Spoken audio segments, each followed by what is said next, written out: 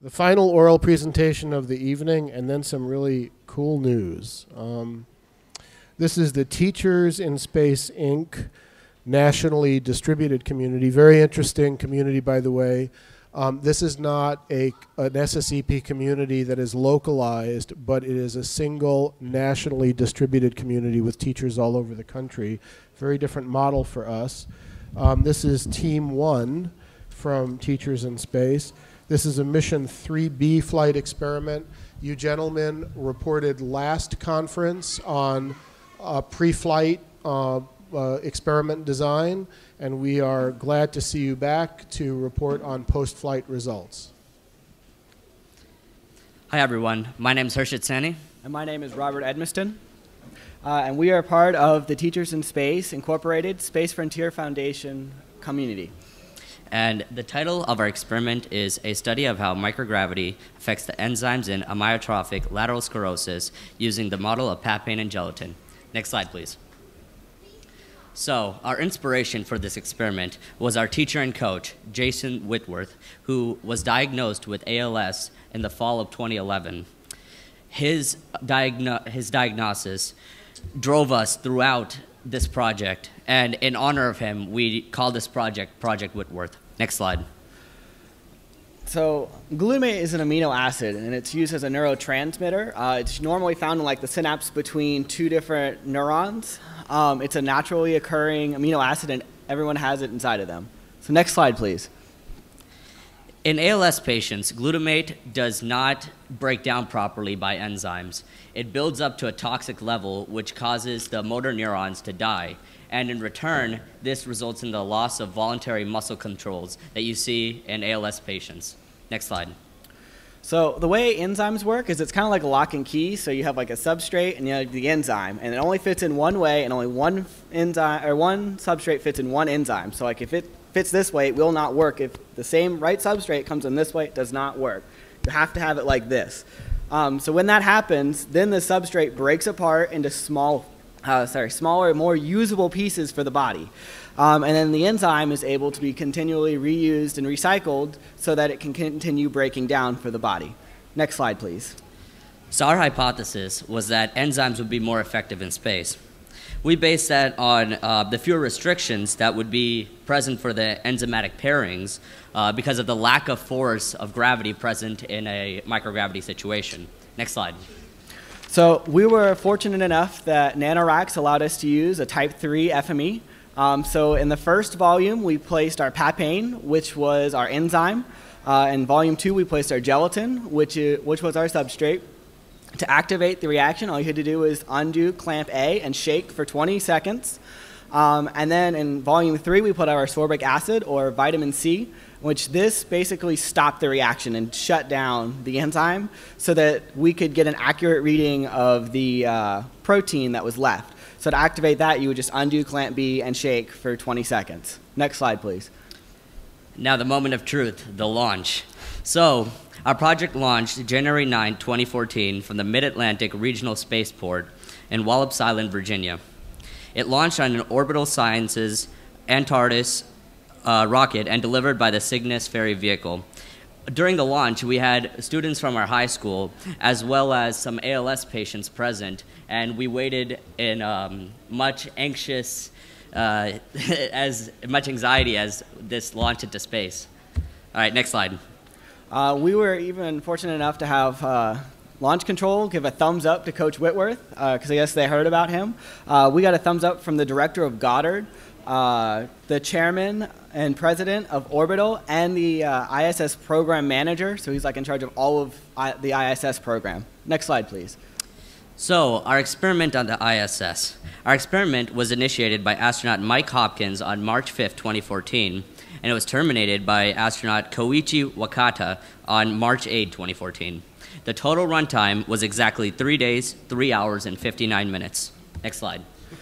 So uh, I guess a couple of the astronauts heard about our uh, heard about Coach Whitworth, and uh, even astronaut Rick Mastracchio sent out a little uh, words of thanks to Coach Whitworth, uh, which we thought that was really awesome. Next slide, please. So this was our ground experiment. On the ground, we initiated our experiment on March 7, 2014, and our experiment was terminated on March 10th, 2014. The total runtime, just like in space, was exactly three days, three hours, and 59 minutes. Um, next slide, please. Uh, so the experiment returned to Kazakhstan via the Soyuz um, on March 11, 2014. And what we thought was really cool about this was it actually brought back Mike Hopkins, who was the one who initiated our experiment. So it was really cool that the astronaut that started it came home with it. Uh, next slide, please. So, our experiment shipped from Kazakhstan to Houston and then finally back to Melbourne, Florida, where we anxiously opened it along with some of the members from the ALS uh, support group from our community. Next slide. Uh, we tested the FME with a Biuret protein assay, and that helped us determine the levels of protein that was still left in the FMEs. Next slide, please. So, we used a device called a spectrophotometer to determine the amount of remaining protein by measuring the absorption levels of each individual sample.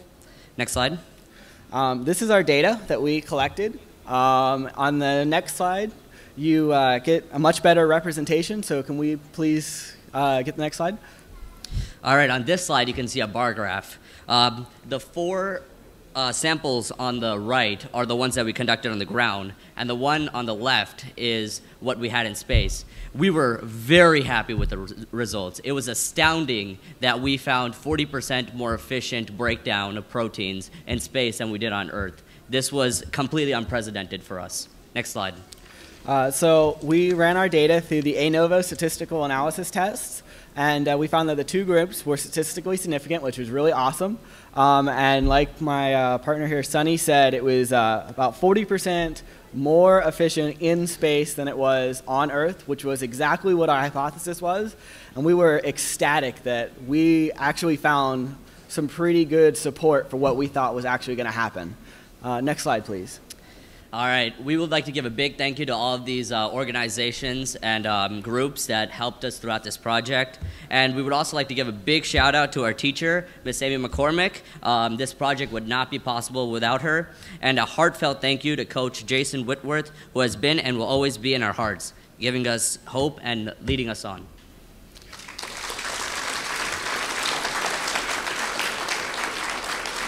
Do we have any questions for the teachers and space team? Um, my que- okay, Ronnie from New Jersey in Long, Long Branch. My question is, do you think that if if it's okay, do you think that if this was put into market, do you think that it will help many many other patients and be used very very what's the word? Well, Com- as things stand now, um, of course, it's not very possible to send anyone up into space. Um, without like you know them being an astronaut already. But commercial space flight is becoming much more popular, and it is taking off. And in the next few decades, we could see some actual usage for um, these kind of experiments. So we're really we're really looking forward to that.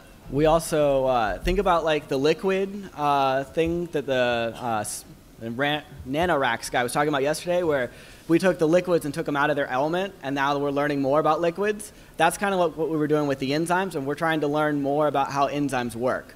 Because we kind of already know kind of how they work on Earth, but then if we put them in their, out of their element, we can learn more about the enzymes. Uh, Mitch from Long Branch. I really love your inspiration. It was very moving. And my question is do you plan to continue your research on this topic? we plan to continue helping as much as we can. Uh, both of us are actually in college right now. We're going into our sophomore year, so uh, it's kind of hard for us because we both live about three hours away from our old high school. Um, so it's kind of hard for us to get back and assist, but we're gonna we help any possible way that we can, and anything moving forward that they need help with, we're most definitely going to jump right on board and help them. And not only that, but we also want to be um, a big part of the ALS community. Mm-hmm. Um, we're not going to stop there. We have tons of momentum right now, and we're going to continue with it. Uh, you know, professional research teams, um, they move from institution, you know, the researchers move across institutions, but they find a way to collaborate because this is their passion, this is their, their, this is their profession. And you guys are how far apart now? Uh, he's at University of Florida, which is about two hours north of where I'm at. I'm in St. Petersburg. And you found a way to come to this conference and present your results. Yes, sir, Yes, we sir. did. So, with that, we are concluding the oral presentations for the 2014 conference. Thank you, uh, teachers in space.